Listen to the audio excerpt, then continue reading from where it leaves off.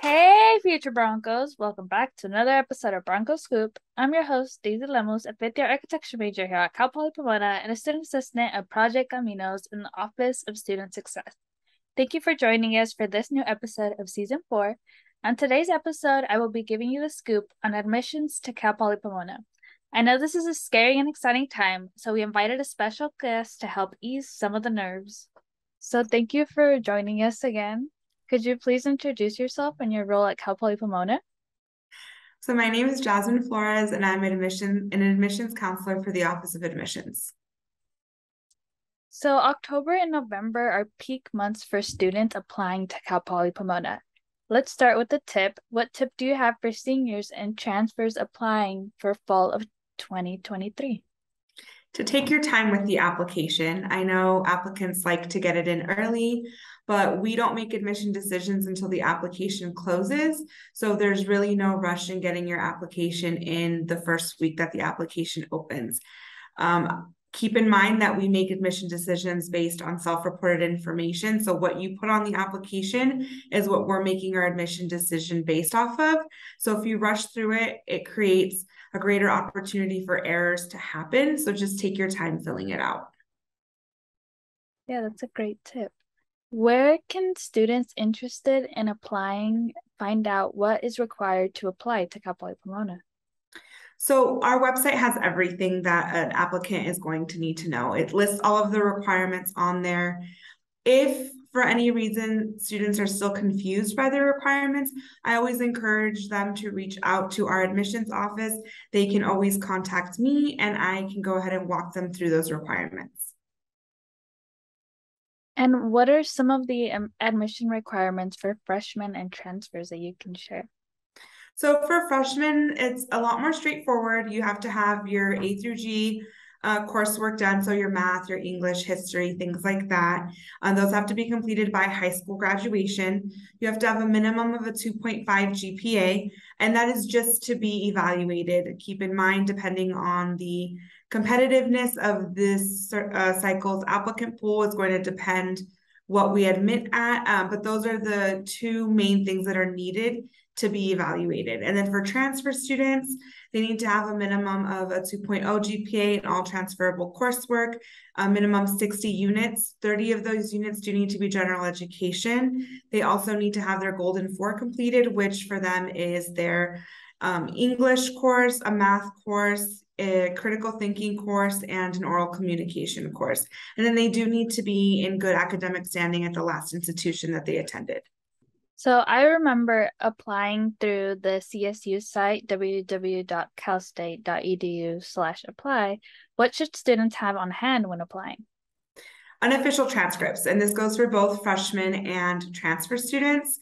Uh, your coursework is one of the main things we're using to make our admission decision. So you want to make sure that what you're inputting is accurate to the transcript that your school has on file, because if admitted, we are going to ask for those transcripts. So we don't want anything to deviate too far away from what the transcript says and what you put on the application. Also, knowing the correct social security number, we get a lot of applicants who put the wrong one, and that directly impacts the student's ability to get financial aid.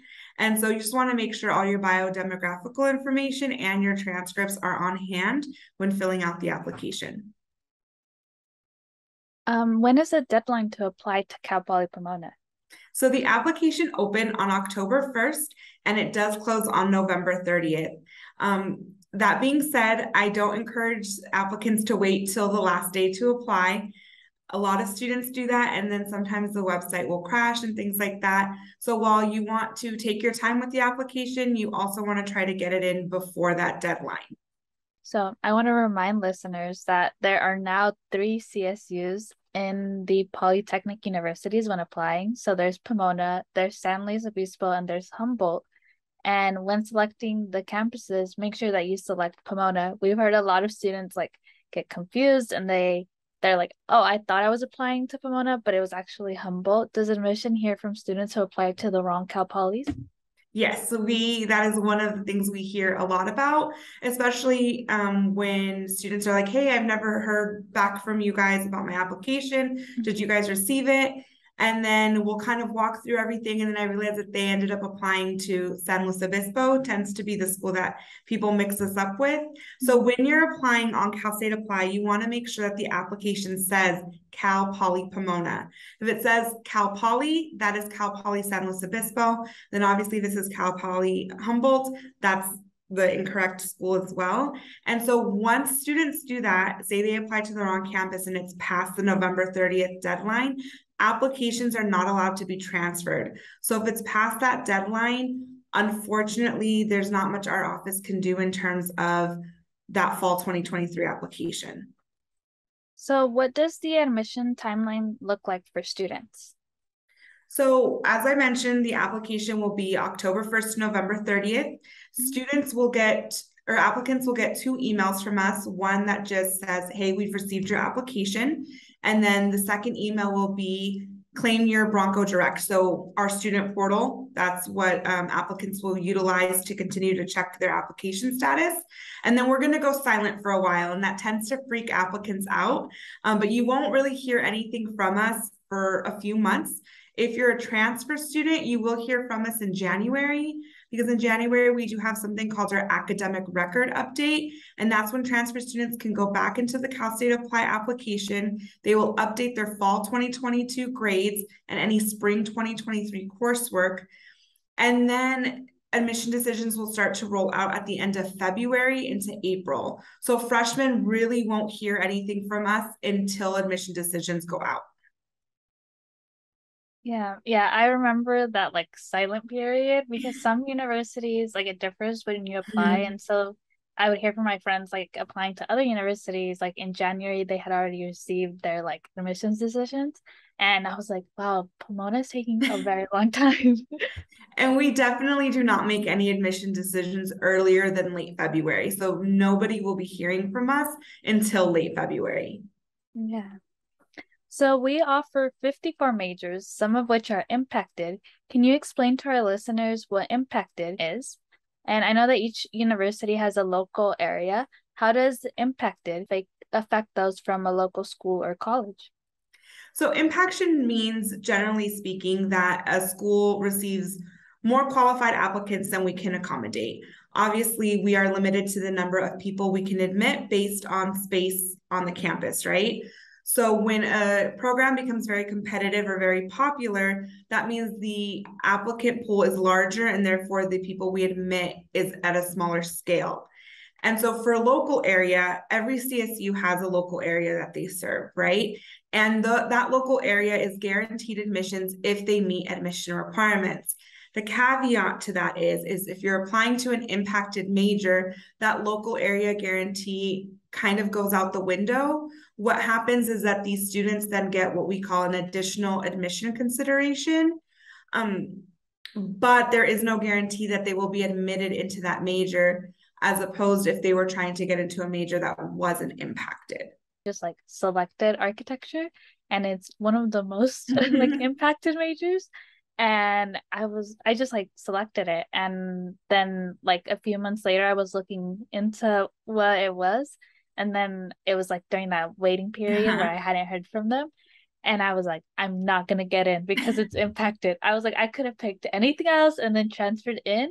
But then when I got in, I actually re- learned that you can't actually transfer into architecture. So, like, it was the right decision to pick it from the beginning. But I didn't know. I remember I was like, no, it's so impacted.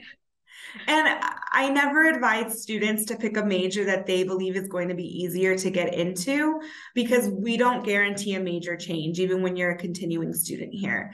Major yeah. changes are approved by the department, and if the department can't accommodate that major change, it may be denied. So I always advise students to pick the major, even if it's impacted, that they're actually wanting to study. Because the last thing we want is for you to attend CPP and graduate with a major that you never intended to take. Um, so definitely apply to the major that you want to uh, study. Yeah. So during the application, you have to select a major and then it asks for an alternative major. How does admission read those two majors and should students enter an alternative major? I always advise students to enter an alternate major, um, regardless of what your primary major is, definitely enter some type of secondary major that you would like to study. We do not guarantee admission into an alternate major. We admit into alternate majors if space is available. Keep in mind that your second choice may be somebody's first choice, right? And so if there's space available in the specific program, then we will admit alternate majors, but it's never guaranteed. But we still advise everyone to select an alternate major. If the major is impacted, so say somebody wants to do computer engineering and they want to do aerospace engineering as their alternate major, the application will not let you. You cannot choose an alternate major as an impacted major. So it'll have to be one that's not impacted. Oh. Now I'm like, what did I pick? because I thought it was civil engineering, but civil engineering is impacted. It's impacted. Mm-hmm. It must have been, I don't know. I must have picked something random then. I don't know what, I, what my and it completely was. makes sense that if you're applying to one engineering, you would want to pick a second one as an alternate major. Yeah. And almost all of our engineering majors are impacted. There are some that aren't, but the application it will not populate that program if it's an impacted program. So you will not be able to select it. Um, I just learned that today. oh, I'm like not. I I wonder what I picked. I don't know. We'll have to been... go back and see. Yeah, because I applied for like very random majors. Like mm-hmm. this was the only university I applied for architecture, and it, so that's why I was like, okay, I'll go here. But I picked like civil engineering, sociology. Like I was, oh, you were like, all over the place. Yeah, I wanted to do everything. I was like, yeah, I I'm could do that. when will transfers find out how their units transfer to Cal Poly Pomona? So once transfer students have to send us official transcripts twice. If if admitted we don't want any transcripts unless we request them. So unless you've been admitted you don't need to send us anything. But they send us initial transcripts with fall grades in march and then they will send us final transcripts with spring grades in july and so what happens is we create what's called a transfer credit report where basically their units from their community college or other university are then transferred over to our school those reports are really not finished until their orientation day. So, orientation for transfer students runs from July to August, and we award our transfer credit based on a student's orientation day. So, they really won't see what units are being transferred over to meet what requirements until the summer. On the admissions website, is there a page or tab you'd like to highlight to students to check out? I think the entire web page you guys should check out. But um, when applying, definitely the requirements just to make sure that you are meeting all of the requirements and you're understanding what is required for admissions. Also, if you're applying to an impacted major, this is specifically or especially true for transfer students because transfer students do have what we call required or recommended coursework for impacted majors. Um, so beyond the admission requirements, especially for engineering, there's going to see, be some supplemental requirements that students need to meet. It's very basic things that you could take at your community college, like calculus and things like that. But you'll want to make sure you check out our impacted majors um, webpage because it lists all of those courses for every impacted major that we have. And then also what we call student profiles. So there's a freshman student profile and a transfer student profile. And what these student profiles are is that it explains what eligibility index or GPA we had admitted with with the previous cycle. So currently it's all of our stuff is for what we admitted with for fall 2022.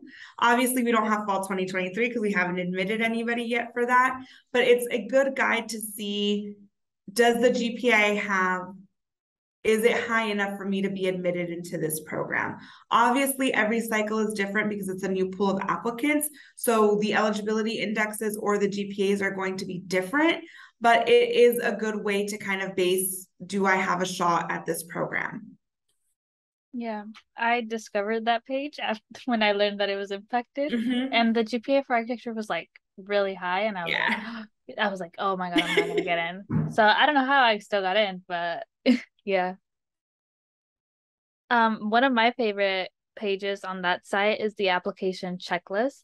It's a good page to kind of like follow along and make sure you're keeping up with the admissions process. yeah, um, that's a really good web page, and we usually have, which we will, um, once I get them, but we usually have printable checklists that students can then print out if they or keep it on their phone or anything like that. Um, that kind of gives what the students' next steps are. What other tips do you have for students when applying to Cal Poly Pomona?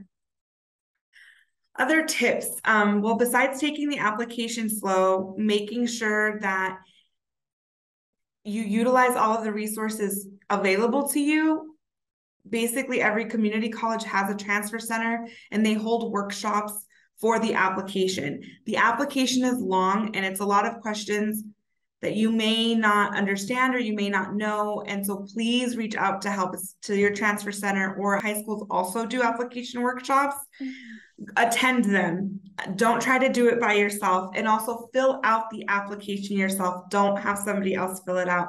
I know parents want to help with the application and they should absolutely be involved in this process, but we should really be trying to get the applicant to fill it out because if they call us, we're going to ask them questions about the application. And if they have, if they weren't the ones that filled it out, it's harder for them to answer our questions, right?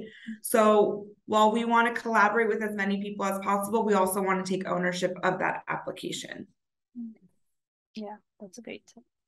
Uh, thank you so much for joining us.